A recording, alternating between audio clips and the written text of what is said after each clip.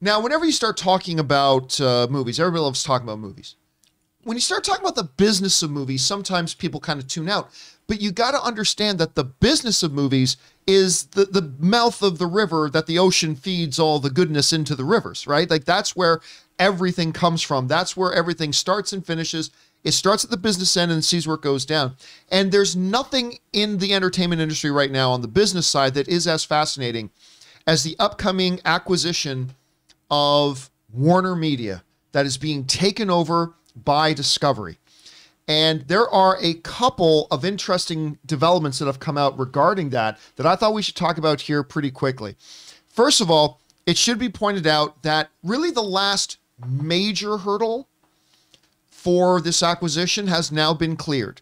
The Discovery shareholders, and this a lot of people saw this as a technicality, but the Discovery shareholders have now approved the $43 billion acquisition. Now, of course, the shareholders have to approve it because it's their effing money. So they got to say, yes, we approve this $43 billion takeover. And by the way, it is actually more expensive than 43 billion because they got to pay 43 billion to get the company, to get Warner Media. But in acquiring Warner Media, they're also taking on 45 billion dollars of Warner Media's debt. That's how much they're in debt. So this is a huge financial commitment uh, coming from Discovery over that. And the last major hurdle has now been cleared. Now, this gives us a little bit of the outline as to what we're going to be getting. This is coming from Writing Rights. Discovery Chief David Zaslav will serve as the president and CEO of the newly merged company. Of course, David Zaslav is the head of Discovery, so now he's going to become the head of everything. Uh, Warner Media Discovery with Warner Media CEO John Kilar or Jason Kilar expected to exit. Uh, first major hire for Warner Brothers Discovery was Chris Licht, who's going to be the new chief of CNN following the ousting of Jeff Zucker. We talked about that a little bit earlier. But this is where it gets really interesting. We're talking about the financials here. Because, Rob, you and I have talked about before the fact that right now, the way streaming works right now is not long term sustainable. No. And, no, like financially, there every streaming company is heading towards a giant cliff financially. They're do they're all operating right now in massive spending that cannot last long term. And they know that. But I think these numbers we're about to look at really give us kind of rude awakening for just how bad the scenario really is. Oh, it's bad. It, it's it's pretty bad right now. So we go back over here. We take a look at this. Listen to this. Discovery ended 2021 with 4 billion in cash on its books and it generated some 2.4 billion in free cash flow for the year. You want to talk about the streaming networks that's actually doing it right and being the most financially successful it's actually Discovery. But at any rate, Warner Brothers Discovery uh, will shoulder significant debt after the transaction is complete, with Discovery executives vowing to reduce the leverage ratio. Listen to this. Listen to what Warner Media's debt to, to revenue ratio is. With um, uh, Discovery will shoulder significant debt after the transaction is complete, with Discovery executives vowing to reduce the leverage ratio from about 4.5 times earnings immediately after the deal closes to 2.5 to 3 times earnings within 2 years. At hmm. close of the Warner Media spinoff, AT&T expects to re- to recap 43 billion and the new Warner Brothers Discovery to assume up to 43 billion of additional debt. I said 45 earlier, I meant to say 43. AT&T aims to use the proceeds from the Warner Media spinoff to pay down net debt, which stood at 156.2 billion at the end of 2021. All right. Understand this. What they're saying is Warner Media is in debt 4.5 times to what their actual revenue is. And the first big goal of Discovery, which operates in the black, is saying, okay, we're going to get that down real quick. We're going to start by getting that down to 2.5 to 3 times, and then we will move on from there. Kind of highlighting why Zaslav, I've been saying now that Big Papa Iger's out of the picture, Zaslav is the smartest guy in this business. When you look at the way that he runs Discovery and what he's done there, and his already initial plans moving forward, with what he's going to do with Warner Media and their whole debt situation, stuff like that. And we heard him talk about we're not going to get in the spending wars, okay? We're going to be a successful streaming empire, but we're not going to get involved in the spending wars that everybody else seems to be getting into. Like this dude's pretty damn brilliant, He's got his feet on the ground.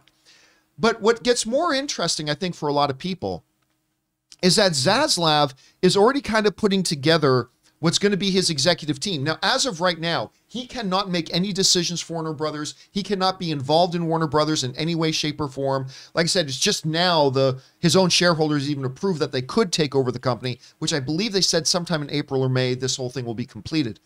But he's already starting to eye what the big senior staff management is. And I think for what a lot of film fans who keep a close eye on like Warner Bros and everything is what's going to happen with the people that they already have like, what's going to happen with the people that are there right now? And I just want to find where I found this. Uh, where is this part I was looking for? Okay, here we go. This part is interesting because it speaks to a couple of things, including, you know, some people have been asking, like, oh, will um, will Discovery restore the Snyderverse and all that kind of stuff? I think we may actually have some insight here as to that. This is what Deadline is writing, and this is interesting. There are also going to be some significant incumbents to consider. Casey Bloys, who started at HBO in 2004, has been overseeing both HBO and HBO Max after the high profile exits of Richard Plepler and Kevin Reilly three years ago, earning public shoutouts from Zaslav along the way. Now, Bloys, by the way, in all the criticism that I've leveled against, you know, Warner Brothers' strategy of putting all their 2021 films on HBO Max, that was not HBO Max's fault. No. That was not them. And actually, this guy Bloys has been getting a lot of kudos from a lot of people about the way he has managed HBO Max in the last couple of years. So he's probably going to be somebody who's going to probably stay in charge of HBO Max. We'll see though.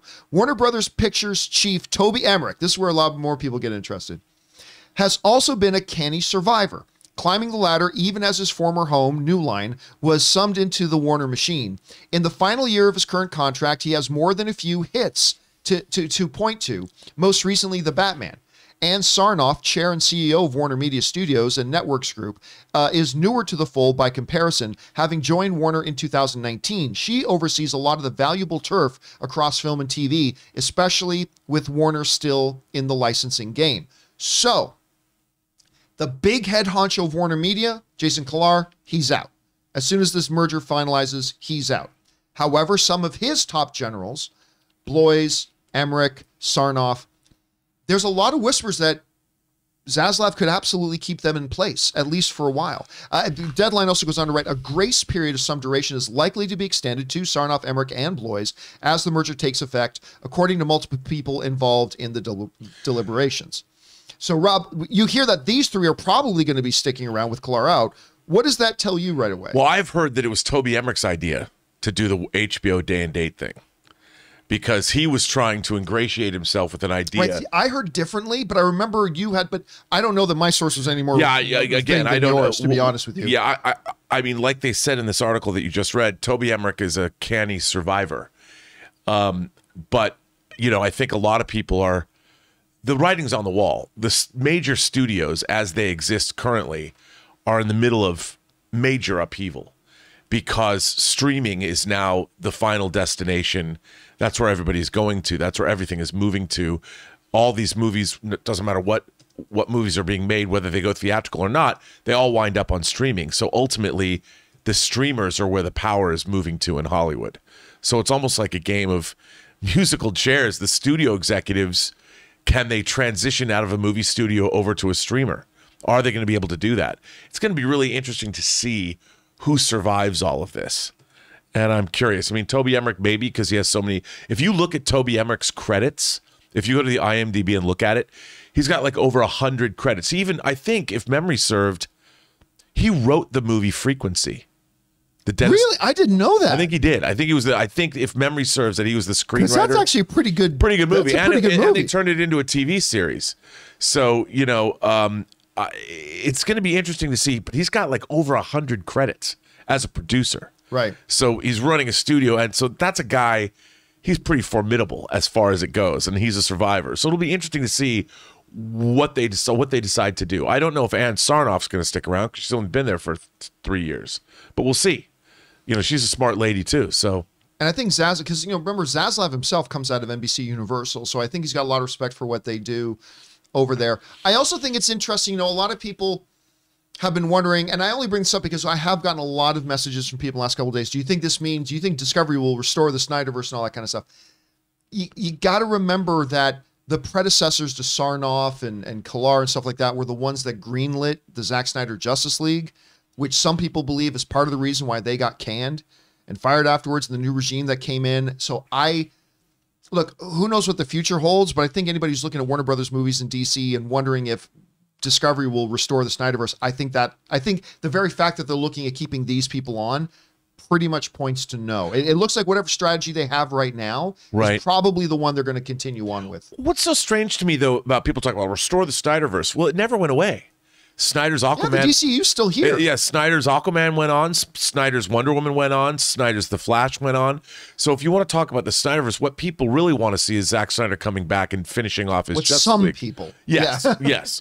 And look, I'm a huge fan of Zack Snyder's Justice League. I, I really quite enjoyed enjoyed it compared to what we what we got. And I would love to see him finish off that story, but people don't realize he's moved on to Netflix. He's got a sweet deal over there. They he's making Rebel Moon, his big sci-fi epic, you know, in the Star Wars vein. Why would why would he come, why would you want him as a creator to come back to Warner Brothers, a place that didn't exactly treat him well, where he's got a new place where he's making new original IP, and he did Army the Dead. He's doing Rebel Moon. I mean, I would be happy for where he's at now because we're going to get something new and unique. Isn't that cool? I, I, yeah, I still think Zack Snyder's Justice League's okay. I mean, it's definitely better. It's definitely better than the Yeah, theatrical. I and mean, I like, a- I like the theatrical version. I do. I like the theatrical. I have I have no qualms about that. I like the theatrical version. I think Snyder's version is better.